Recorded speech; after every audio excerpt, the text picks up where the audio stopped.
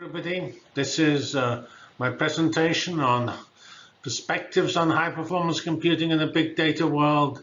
It was given at the HPDC conference on uh, June 27th, uh, Thursday, and um, it discusses the current status of HPC and how it can move forward into a really remarkable future. All right, let's get started. Thank you. So these are the topics we will um, cover. First will be somehow a discussion of different communities and different trends, including high performance computing, edge computing, big data, machine learning, slash artificial intelligence and clouds. We will discuss um, the value of aligning with industry in what I call the current AI first world. And we will discuss the um, implications between AI first and data science. Uh, then we have a significant session uh, section on machine learning for systems, as Jeffrey Dean brilliantly coined it, or what I call machine learning for HPC. We will look at uh, different uh, ways this can be done, some examples and some the open questions. In fact, there are many open questions, hundreds of PhDs waiting to be written. And we have a very crisp set of conclusions. All right, let's let's move to the first topic, which is data on how the communities and interests of uh, communities is changing with time. This comes from my friend Qian Depei from China, and uh, he wrote this uh, intriguing presentation which had this data here comparing the number of papers published in the main AI conferences and uh, the number of papers published in the main architecture conferences, and there is a factor of 20 difference in favor of AI. And uh, that's both in accepted and, and submitted. So I tried to follow through on that a little and produced a few further further slides which confirm this trend. This one here is um, discusses uh, four general areas, which we'll get into a little more detail. The first I call is big data. There is a well-known IEEE big data conference. Uh, that's the purple curve, which is rising. They're actually rising quite a lot. We can't really see it because it's so low. But so, and its rise may not be quite so significant as it's so much smaller than the other curves. The red is cloud computing, which slightly surprising in that the importance of cloud computing is increasing, but actually the academic papers are declining somewhat. Uh, then we have um, the yellow or slash orange, which is the sum over a selected um, high performance computing slash cyber infrastructure conferences, the SC conference series, eScience, CC Grid, and IPDPS. As I gave this talk at HPDC, I left them off.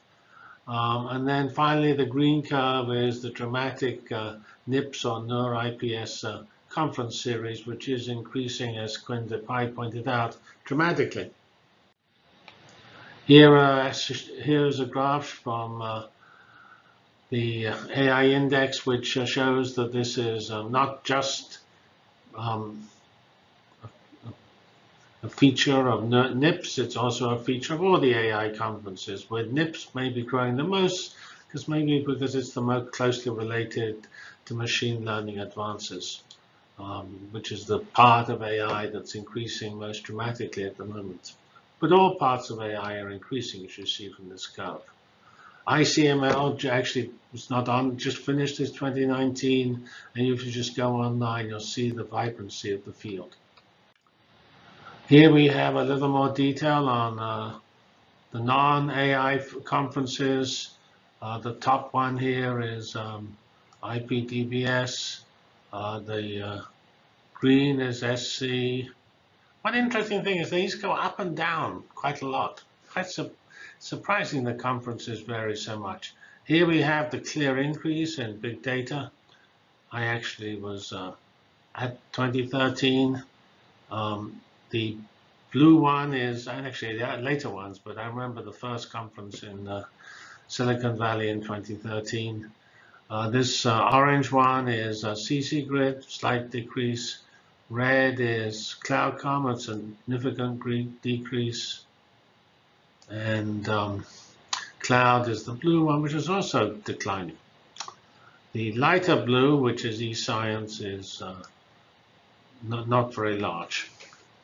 All right, so that's that's the details behind the sum curve, which showed us this these this increase for big data and the decreases for cloud and HPC slash cyber infrastructure. Here's another way of looking at it. It's the so-called H5 index. Um, uh, some of the conferences are below the cut. The cut here is 12, so eScience is not here. HPDC, where I'm talking, is here. Um, the top is the big AI conferences with NIPS here. Uh, I should say H5 is the H index calculated so that the conference was a person publishing over the last five years only. Here we have ICML, which we knew was number two in the earlier plot. Um, I put in these blue ones, which are just large non-AI and non-HPC conference, CHI, the well-known HCI conference, um, INFOCOM, and the WWW conference. Then we have a whole stream of green conferences, and then finally ISCA, which is actually in this, it's in the same conference federated collection, which HPDC is um, when I gave the talk. ISCA is the first, ASPLOS, SC, HPCA, IPDPS, and so on. And then we have a, so you can see that, and then finally we have the top cloud one, which is IEEE Cloud. Um, you should point out H5 may not be a totally fair index in that it's uh, obviously easier to get a high H5 index if you have a lot of papers.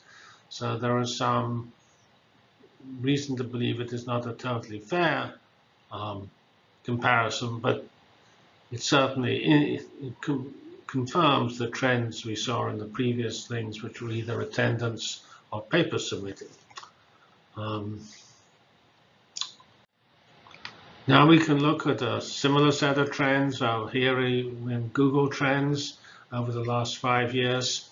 And here is some large things. Uh, we started. I started with artificial intelligence, and then I added security, which is sort of interestingly bigger.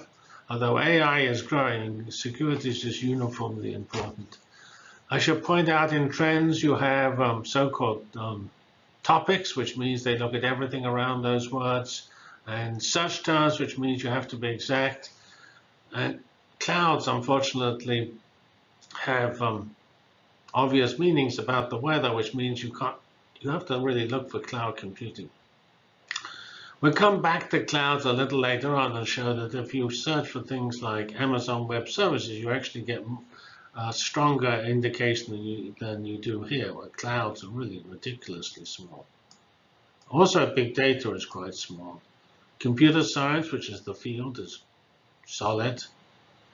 And now we are going to look at some smaller curves, starting with these two things here, which are pretty pretty tiny on this uh, this particular large graph. Remember that AI is much bigger than what we're going to see in the next slide. All right, here we start off with the top, and these are all normalized to 100 at the top.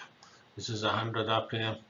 Uh, uh, the you know, largest entry in, a, in any one one thing represented here is 100. So here we have cloud computing decreasing somewhat with time, consistent with the conferences. HPC is more or less flat. No hint of the increase of AI. Uh, um, grid computing is also in there, similar to HPC with a slight decrease, but still actually fractionally above HPC. Edge computing is rising quite strongly, and supercomputing really doesn't enter into the discussion. It's much smaller than HPC, not surprisingly. It's a relatively specialized topic. Okay, here we uh, have another set of relatively small ones, but it's worth noting that Internet of Things, at least until 2017, was strongly increasing. It's, it's uh, uh machine learning lies below Internet of Things, but it's still it's increasing. Big data is sitting there pretty flattish in terms of interest. Uh, Remember, over that same time period, the conference expanded. Deep learning, not surprisingly, had a huge increase, although it's now maybe saturated in its uh, in its hype uh, value. And poor old HPC is still sitting down there at the bottom. Not a very uh, vibrant trend in terms of Google searches, at least. Um, so notice when we can look at this graph that AI is 10 times big data. And terms like cyber infrastructure and exascale are too small to show even on this uh, graph of the smaller ones. So we, if we sort of summarize our lessons from the trends, uh, they confirm what we saw with the conferences um, and um, indicate uh, flattish to, uh, with some indication not from the trends don't show any decrease in HPC. Uh, with a, a, growth in edge and Internet of Things, and a, significant growth in uh, in machine learning and AI. So that's the end of this section. Uh, there's another, the video continues on a different section. Thank you.